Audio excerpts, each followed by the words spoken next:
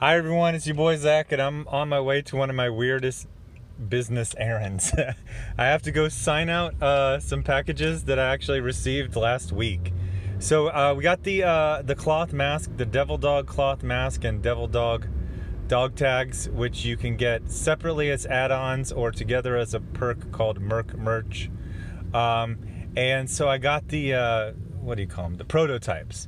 Uh, the dog tags were perfect. Um, the mask needs a little work. So, uh, in true um, do everything at the last minute fashion, I showed up at the postal place like one minute before they left, banging on the door because they closed three minutes early. Uh, the guy ended up opening it up eventually, but he's like, "We already shut down our computer, so can I just give it to you and you'll sign for it on Tuesday?" Because uh, uh, it's a long weekend, so I'm going back to sign for something that I already opened and inspected and, and already got the feedback back to the uh, what do you call them the wholesalers. Um, but uh, anyway um, so uh, dan shaheen who's a, a, name I, I i always spell it. You ever have someone you're like oh it's spelled this way you spell it that's wrong and the next time you go no last time i got it wrong so i'm going to spell it the other way but then you forgot the other way? So you just keep i, I don't dan shaheen type it both ways that it's pronounced and you'll find it I think it's called Comic Book News with Dan Shaheen, and he's uh, he's really building this channel. It's it's becoming very interesting. It's kind of reminding me of uh, these uh, zines that I used to uh, I talk about from the 80s and 90s, like Amazing Heroes. It's probably the closest. It's it's not very analogous, but it's the closest thing to it. Um, and he's getting some really good guests. Some people are like, "How does he keep getting good guests?" It's like probably asks. I don't know. you would be amazed uh, all the things that can happen in life if you, you just ask. You know, people are just like, oh, nobody asked. Oh, yeah, sure, why not? Um, uh, I, he also used to be a retailer, so I'm guessing he has some connections from back in his uh, retailer days. So he had uh, Jim Rugg uh, from uh, Cartoonist Kayfabe on, and then a good, you know, nice interview. Um, and one thing was kind of bothering me.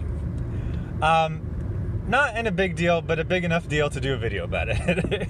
in that, uh, Jim Rugg was having fantastic success with uh, crowdfunding. He's doing a Kickstarter for, I believe it's called Octobriana 1976, and it's doing fantastic. I think it's been up for two weeks. He's close to 60,000. This is a huge, massive success. Um, it's a 24 page uh, day glow, or is it day glow? Night glow? Blacklight? Blacklight. Blacklight and day glow are two different things, right? I feel like they'd be cousins. Like they'd, they'd meet at the barbecue a lot. What's up, Dayglow? How you doing? You know, I'm alright. Just saying. Uh, that'd be weird if they were the exact same thing. I think they're slightly different. Um, and so it's an interesting, fun project. Uh, I backed it actually during. I was on the fence um, because it's not my you know typical cup of tea, um, and I usually don't get very good views when I review indie books, and this is like super indie. Um, uh, but uh, he said, you know, there, Octobriana has this interesting history where it was actually like a fake out. It was this guy from like Czechoslovakia who like hired some people and then just like didn't pay them and and he freaking he pulled a, a SpongeBob I I'm a head out went to London and then made up this whole fake story that it was like Russian dissidents when it was just two other Czechs he ripped off. Um, uh, I guess you could say he wrote a bad check. I just did the Doctor Evil thing with the pinky to the corner of my mouth. Um, uh, but uh, anyway, so uh, he was talking about th- that um, he was doing like a Freedom of Information Act to like because I guess the FBI had like files about this related to Russian dissidents, but it was fake. So he's he's like that's gonna be one of the extras. I might be misstating that, but I just heard that. I was like, that's interesting. Um, uh, so I was like, okay, backed it. Uh, but then um, the host kept coming back to to something that I I feel is a conceit. Uh, the idea is Jim is having incredible success in crowdfunding. He's had what I would call extremely moderate success in the direct market. He's had a couple of image mini miniseries that did, eh, and people remember him like, eh, uh, mm, okay.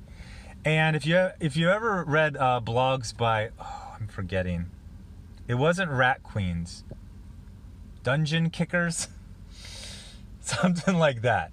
Um, it was it was kind of in that like Dungeons and Dragons kind of funny. Right there on the tip of my tongue. Anyway, that guy who I believe is Jim Zub. I feel like Jim Zub and Jim Rugg should also be cousins, just like Dayglow and and Blacklight should they should all be cousins of each other. Um, but he's done the math on what a successful image series does, and seriously, just deliver pizzas. Like, unless it's The Walking Dead, it is nothing that would impress anyone that isn't homeless. Um, I don't even think it would impress a homeless person. They're like, man, I used to be on Wall Street. You ain't fit to shine my shoes, your image comics man. Get the hell out of my face. Um, uh, but uh, cocaine is a hell of a drug. Uh, but uh, so Dan kept coming back to this thing. He's like, well, what about the comic book stores?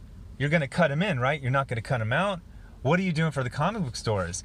And Jim was just basically very honest. He's like, I gave some queries to comic book stores and it was not impressive. You know, it, it's very niche. It's a very niche thing. He's he's known mainly for cartoonist kayfabe.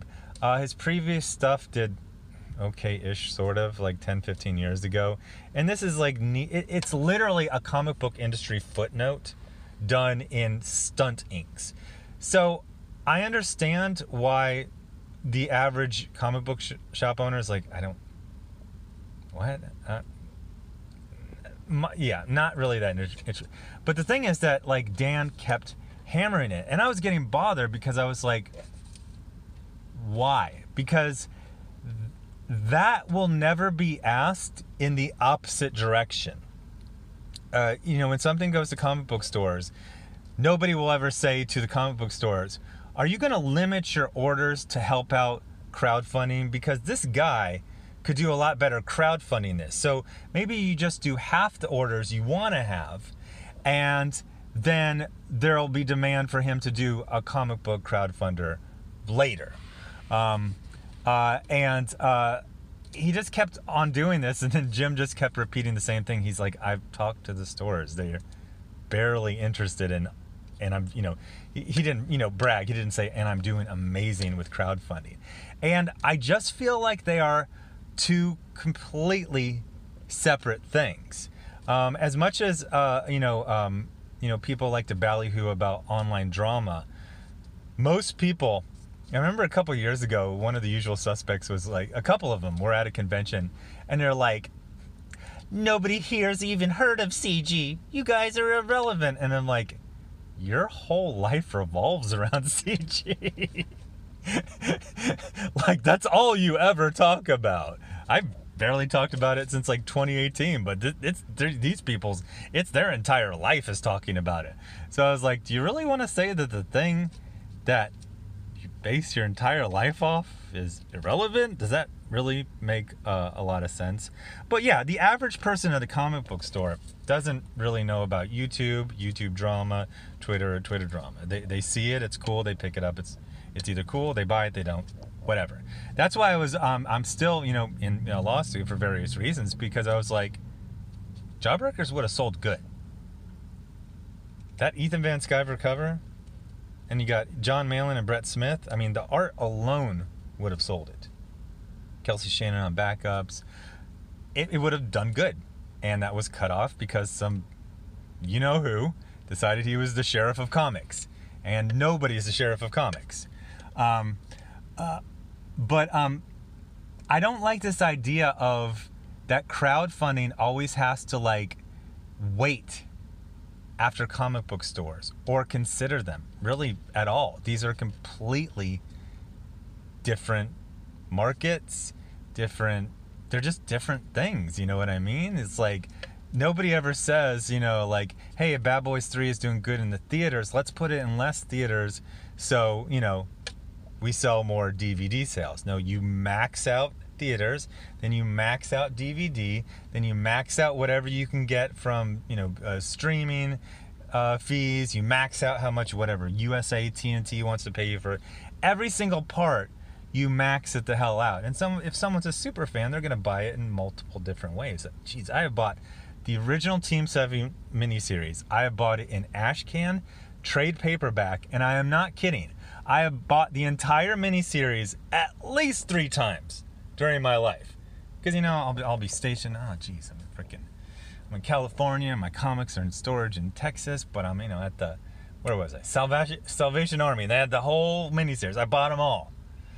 Uh, and then you know storage again. Now I'm in New York. Oh, they're up. Buy it again. You know, um, and uh, I, I don't I don't want comic books to be this you know this you know uh, uh